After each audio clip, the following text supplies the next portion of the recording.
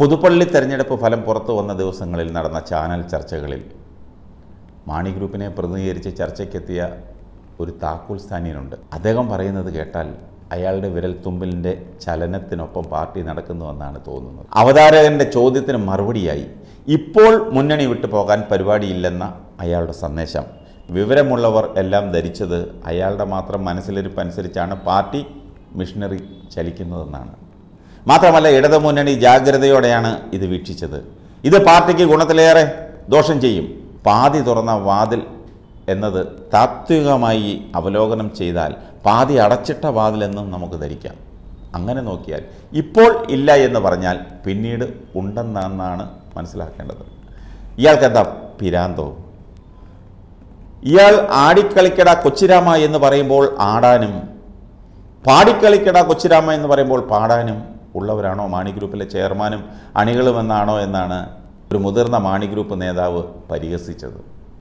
രണ്ടായിരത്തി പത്തിൽ ഇരു കേരള കോൺഗ്രസുകൾ ഒന്നിച്ച സമയത്ത് നിയമസഭയിൽ മത്സരിക്കാൻ സീറ്റ് കിട്ടില്ലെന്ന് ഉറപ്പായപ്പോൾ പാർട്ടി വിട്ട് എതിർചേരിയിൽ ചേക്കേറി കെ എം മാണിയെയും മകനെയും അറഞ്ചം പുറഞ്ചം തെറി വിളിച്ച് നടന്നവനെ പിന്നീട് ജോസ് കെ മാണിയുടെ സൗമനസ്യവും ഔദാര്യവും കൊണ്ട് പാർട്ടിയിൽ തിരികെ എടുത്തപ്പോൾ ഇയാളെക്കുറിച്ച് അറിവുള്ളവർ ജോസിന് പറഞ്ഞു കൊടുത്തതാണ് കുഴിയിൽ കിടക്കുന്ന ഈ കുരിശെടുത്ത് കുശിനിയിൽ വയ്ക്കരുതെന്ന് അനുഭവിക്കാനുള്ളത് അനുഭവിച്ച് തന്നെ തീർക്കണം.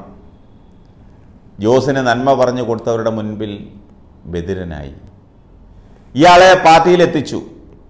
പാർട്ടി പിളരുമ്പോൾ മുതിർന്ന നാലു പേരോടൊപ്പം ഇരുന്ന് ഇടതുമുന്നണിയിലേക്ക് പോകുന്ന ചർച്ച അതേപോലെ ചോർത്തി ചെന്നിത്തലയ്ക്കും അയാളുടെ പിണിയാളുകൾക്കും നൽകിയത് ഈ താക്കോൽ സ്ഥാനീയനാണെന്ന് അന്ന് ജോസിനും കൂട്ടർക്കും മനസ്സിലായതാണ്. എന്നിട്ടും ഒരു നടപടിയും ജോസ് എടുത്തില്ല. അയാൾക്കിപ്പോഴും ചോറിങ്ങും കൂറങ്ങുമാണ്. എൽ ഡി എഫ് കഴിഞ്ഞാൽ യു ഡി എഫ് എന്ന തത്വത്തിൽ മുറുകെ പിടിച്ചിരുന്നയാൾ ഏറ്റുമാനൂരിൽ യു ഡി എഫ് സ്ഥാനാർത്ഥിയായി മത്സരിച്ച് മുന്നേറണമെന്ന ആഗ്രഹത്തോടെയാണ് ഇതെല്ലാം അന്ന് ചെയ്തു കൂട്ടിയത്.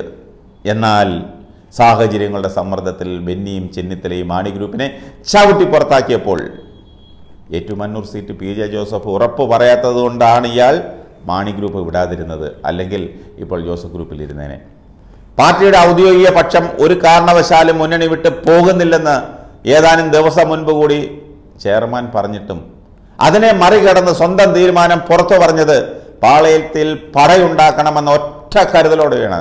ഇത് ഇടതുമുന്നണിയിൽ ചിന്താക്കുഴപ്പം ഉണ്ടാക്കുമെന്നും അങ്ങനെ മുന്നണി ബന്ധങ്ങൾ പതിയെ പതിയെ വഷളാക്കി മുന്നണിയിൽ നിന്നും പുറത്തു ചാടിക്കാമെന്ന കോൺഗ്രസിന്റെ വക്കാലെടുത്ത് നടക്കുന്ന ഇയാളുടെയൊക്കെ നീക്കങ്ങൾ.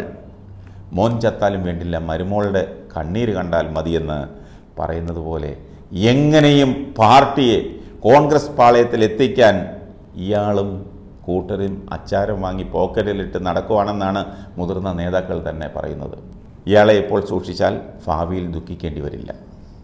മത്സരിച്ചാൽ മതി ജയിക്കണമെന്നില്ലെന്ന മുദ്രാവാക്യവുമായി നടക്കുന്ന ഇയാളുടെ മോഹം അടുത്ത പാർലമെന്റ് തിരഞ്ഞെടുപ്പാണ്. ഏതുവിധേനയും സ്ഥാനാർത്ഥിയായി കിട്ടിയാൽ നടത്താവുന്ന പിരിവിലാണ് കണ്ണ്. ചെറുതൊന്നുമല്ല. ആദ്യപടിയായി ജോസ് തന്നെ മത്സരിച്ചാലേ ജയിക്കുമെന്ന് ജോസിനോടും പാർശ്വവർത്തികളോടും പറയുന്ന ചടങ്ങാണ് ഇപ്പോൾ നടന്നുകൊണ്ടിരിക്കുന്നത്. കാക്കയുടെ പാട്ട് മനോഹരമാണെന്ന പുകഴ്ത്തലിൽ വീണാൽ എന്റെ ജോസയെ പണ്ടത്തതിന്റെ പിന്നത്തേതാകും. ഓർമ്മിപ്പിച്ചു എന്നേ ഉള്ളൂ. കടുത്തുരുത്തിയിലും പാലായിലും പിറവത്തം നിയമസഭാ തെരഞ്ഞെടുപ്പ് കാലത്ത് സംഭവിച്ചത് ആവർത്തിക്കും ഒരു സംശയവുമില്ല. ഇതുപോലെയുള്ള കറുത്ത കുതിരകളെ കണ്ടെത്തി മുളയരെ നുള്ളിയില്ലെങ്കിൽ ഇനിയും ചീത്തപ്പേര് ജോസിന് വാരിക്കൂട്ടാം. ഇതെല്ലാം ജോസിന്റെ അനുവാദത്തോടെയാണെന്ന ഇയാളുടെ വാക്ക് പാർട്ടിക്കാർ പുച്ഛത്തോടെയാണ് കേൾക്കുന്നത്. ഈ ഗുണ്ടടിയൊക്കെ ഒരുപാട് കേട്ട് തഴക്കവും പഴക്കവും വന്നവരോടാണ് ഈ കൂത്തുപാട്ട്.